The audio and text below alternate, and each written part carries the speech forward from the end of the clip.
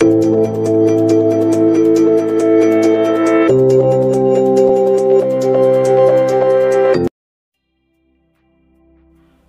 is the oxidation state of disulfuric acid? Disulfuric acid is a neutral compound with overall oxidation number 0. Therefore, we know that the sum of the oxidation number of the atoms is equal to 0. By the rules of assigning oxidation numbers, the oxidation number of oxygen is minus 2 in compounds. We can write the oxidation number of the elements above its symbol and the total number of the oxidation number of the atoms below its symbol.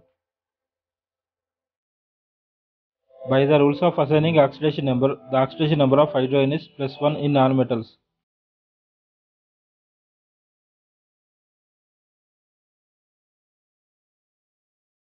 As per rule, in a neutral compound, the sum of the oxidation numbers of the atoms is equal to 0. So the numbers along the bottom must add up to 0. So the number under S2 must be plus 12.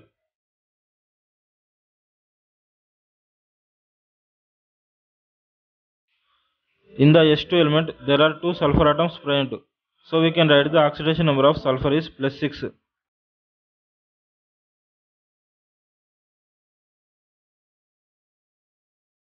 Therefore, the oxidation number of hydrogen is plus 1, the oxidation number of sulfur is plus 6 and the oxidation number of oxygen is minus 2 in disulfuric acid.